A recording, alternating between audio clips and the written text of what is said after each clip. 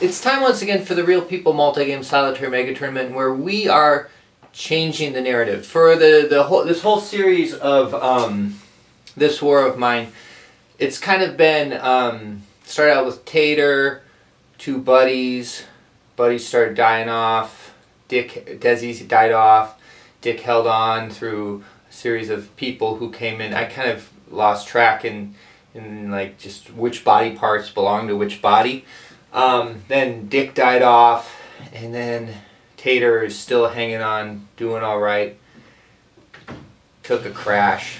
Tater decided to ditch out on the whole thing.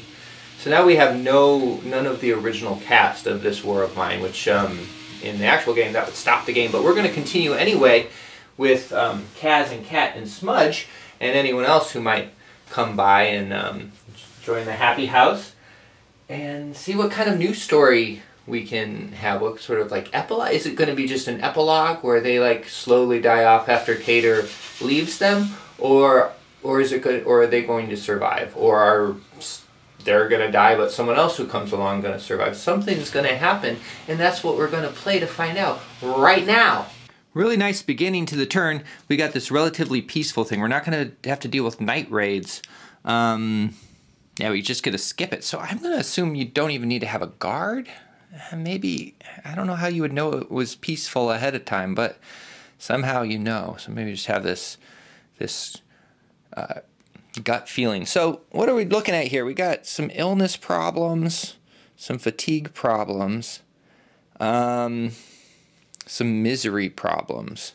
Be nice to be able to repair that guitar because you might be able to raise the misery with the guitar. They also are hungry. And how close are we? Yeah, we're about to have this thing come up. So it'd be nice if we got some vegetables to fill that up.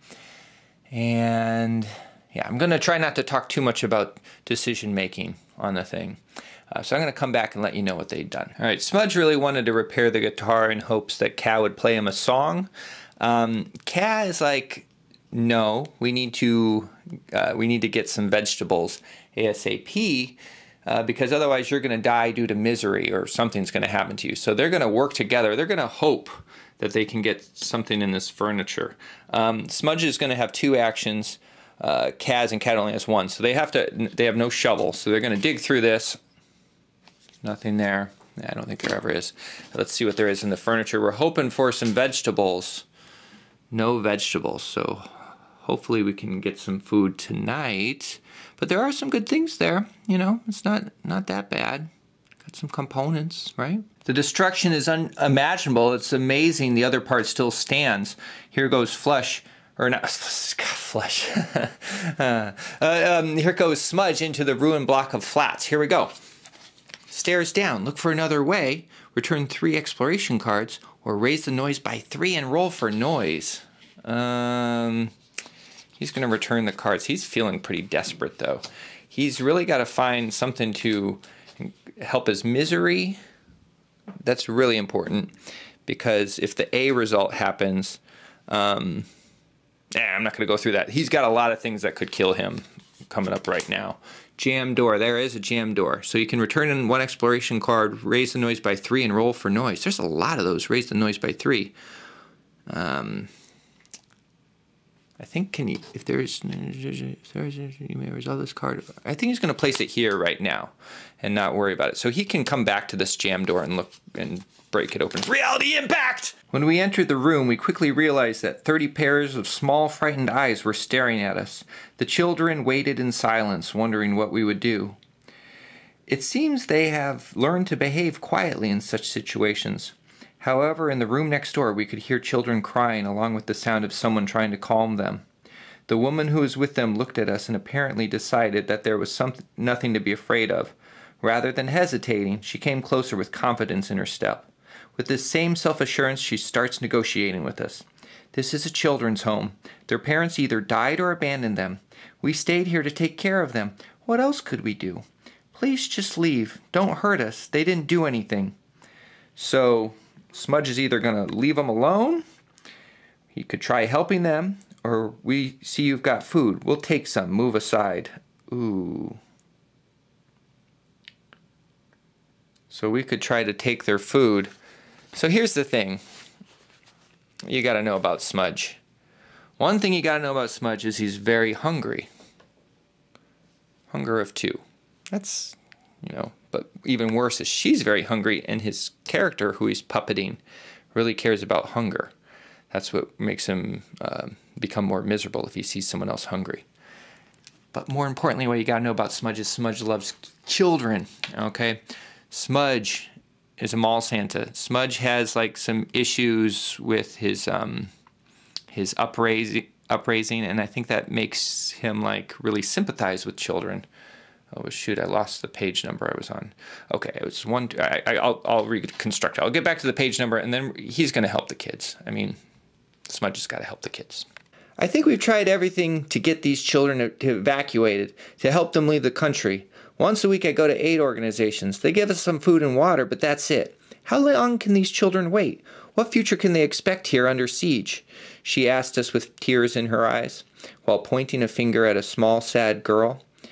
So Smudge could be like, well, I'll have to wait for this to end. Good luck. Or he can try to see some foreign media and try to get them to come there because he knows where he can find them. I like to believe that Smudge knows where to find the foreign media. Let's go see what that's about. I felt that it's my duty to help the kids from the children's home. I decided that one night I'll go to the hotel housing the foreign reporters and ask them to come here and make a report about children under siege. Maybe it'll push some high ranking official into evacuating these poor things. Kids who have done no one any harm. Even though there's little chance of the reporters coming, it's still worth a shot. Okay, so I got to write down excursion to journalist 952 on a blank token and place in the findings pile. I'm actually just going to write on a notebook. Um, and then,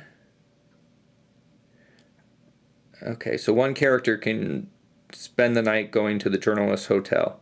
If the character survives, we'll return to the shelter at the beginning. Then, okay, so it's basically they go do a special mission to do the journalist. Okay, so hopefully Smudge survives so he can be the one to do that. So 952. So I guess it's not pressing to go see the journalists, you or maybe just doesn't have time, so you can go here. Okay, so you can return one exploration card or roll for noise to choose one finding from the special findings chart. Yes, we will do that. We will return a special thing and we're gonna get a vegetable. Come here, vegetable. Vegetable. All right. Open space. There is no open space. Draw this. A door. Peek through the keyhole or raise the noise by one. I think we'll just raise the noise by one and keep going. Reality impact! When we heard a noise on the lower floors, we carefully walked up to the railing and looked down the stairwell. Three men were hitting a young woman, and from time to time her weak body bounced off the railings. We went down the staircase, unseen by anyone. One of the men broke down the door to the abandoned apartment, shoved the victim inside, and the rest followed them. Three big men disappeared into the apartment, but the women, woman's cries and shouts and the shouts of her attackers resound through the entire block of apartments. We have to help her. We've got no chance. It's best not to interfere. Okay, which do we do? I think Smudge is kind of on a helping kick. I think he's kind of got to help her.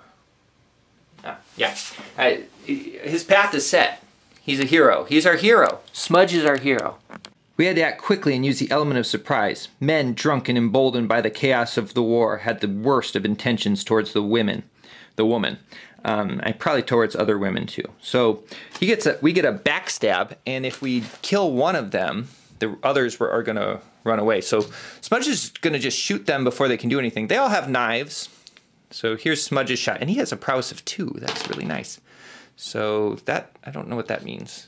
Let's find out what that means and then we'll do some more excited, exciting dice rolling. This means nothing for Smudge, but if an enemy gets this, then they run out of ammo.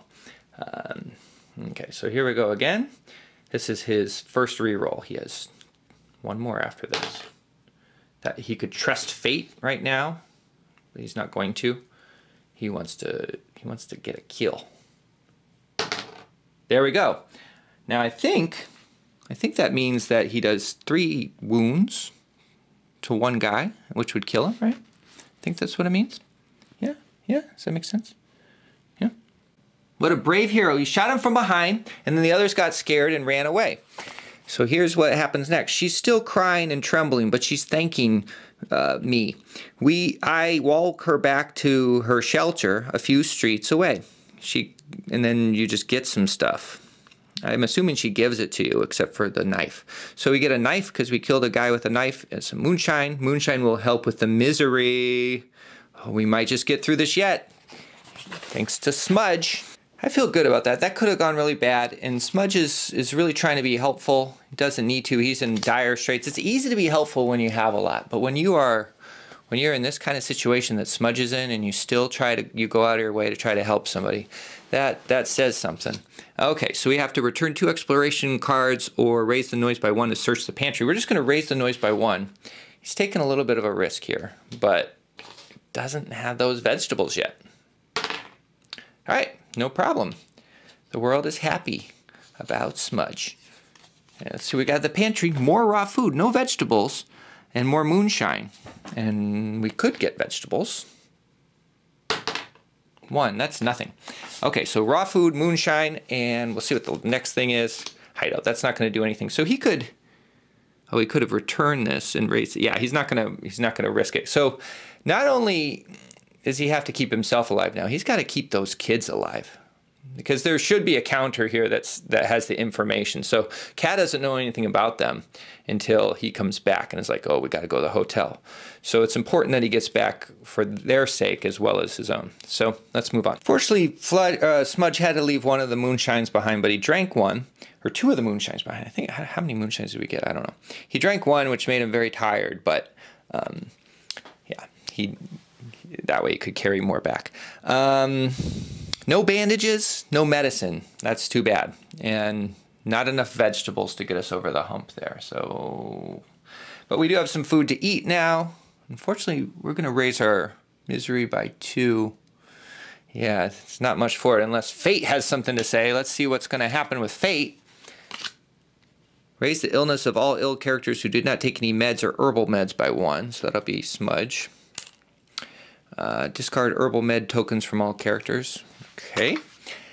Cold minus board ups equals four or more. It does.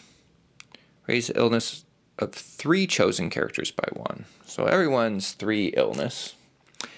Resolve weight tokens. Resolve spirit. So your misery is going to go up to three again.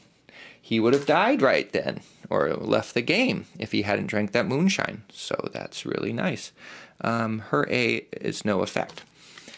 Okay, so now, unfortunately, we have to resolve this thing. That's what this is going to say to do. Does it say anything else? Resolve the top objective card. See the reward if you're not from the game. And that is going to mean we didn't help them. And we are really broken by not helping them. And this, whoop, that, yeah, that really hurts Smudge most of all, because we, we've learned today, I think, that Smudge has a very big heart. Fortunately, that big heart is not enough to keep him in this game, though he will stay in the tournament. Smudge is in the enviable position of only having negative 38 points, so he's going to add negative 400 of that, negative 438. He's still doing better than quite a lot of people on the board there. So, you know, Smudge can feel good about that, and he brought a lot of light he saves someone from a potential rape. Uh, maybe someone will fulfill his um, quest to save those children or draw at least draw media attention to their plight. Overall, I'd say even though he's failed out of this game, he's been successful in my eyes. And I think that's what counts, really. Um, well, not that he's been successful in my eyes, but that he, he could be proud of himself, I think. And I think he he you know, all these imaginary people are going to have better lives because they met Smudge. And if he's not going to be heralded as like the champion of the real people multi-game solitaire mega tournament or you know become some wealthy person because he stepped on the backs of others that's okay. I think overall the human race is better off with people like smudge.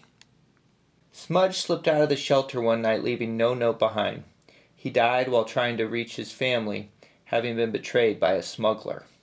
Discard one most valuable token from the storage. Remove this character from the game. So that might have seemed like a jerk move on Smudge's part. I mean, here he is, like, I'm the good guy, I'm helping people, please, you have to help these, these kids if anything should happen to me. And then in the night, he slips away, he takes the jewels. And I actually find that makes him a better person, because if he was just doing good stuff all the time, I think Smudge would be a little boring. And so I'm glad Smudge um, showed some personality.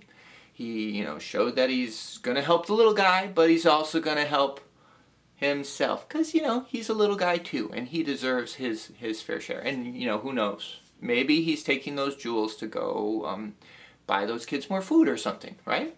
You, you don't know. You can't judge him who are you to judge him? All right next time